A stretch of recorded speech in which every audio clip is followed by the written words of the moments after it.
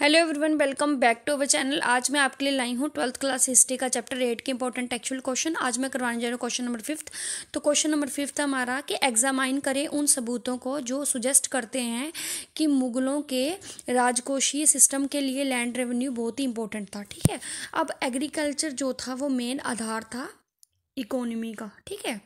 अब land revenue जो जाने कि भू राजस्व जो इकट्ठा किया जाता था, उसको यूज़ किया जाता था सैलरी जो सैनिक थे उनको सैलरी देने के लिए और बाकी जितने भी राज कार्य थे उनसे जुड़े जितने भी खर्चे होते थे उनके लिए जो रेवेन्यू इकट्ठा किया जाता था, वो वहाँ पर यूटिलाइज़ किया जाता था। ठीक है? इसलिए ये बहुत ही इम्पोर्टेंट था कि एक प्रशासनिक तंत्र को एस्टेब्लिश करना ताकि क्या इंश्योर कर सके एग्रीकल्चर जो प्रोडक्शन होती थी उस पर कंट्रोल को इंश्योर कर सके। ठीक है?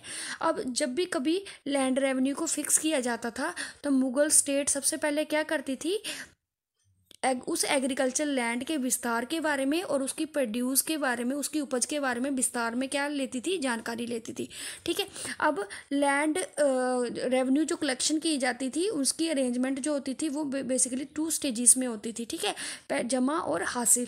कल्टीवेटर जो होते थे उनके पास चॉइस होती थी कि वो लैंड जो रेवेन्यू है चाहे तो वो कैश के रूप में दें या तो किसी वस्तु के रूप में दें। ठीक है? वो स्टेट जो हमेशा प्रेफर करती थी कि वो जो लैंड रेवेन्यू इकट्ठा करे, वो किस फॉर्म में इकट्ठा करे? कैश के रूप में, ठीक है?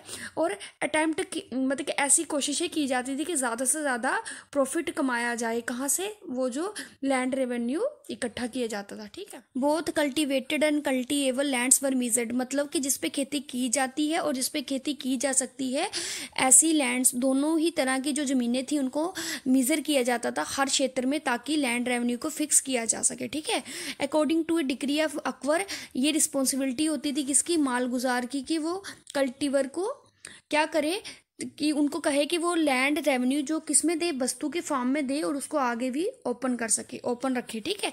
तो ये एविडेंस से ये क्लियर हो जाता है कि जो मॉनेटरी ट्रांजैक्शन थी वो बड़ी ही ज़्यादा इंपॉर्टेंट थी और इस पॉलिसी को कंटिन्यू रखने के लिए काफ़ी एम्पर जैसे कि औरंगज़ेब जो थे, उन्होंने भी कंटिन्यू रखा कि वो लैंड को मीज़र कर सके मीज़र करें तो लैंड को मीज़र करें और वहाँ से क्या करें? लैंड रेवेन्यू को इकट्ठा करें। Thank you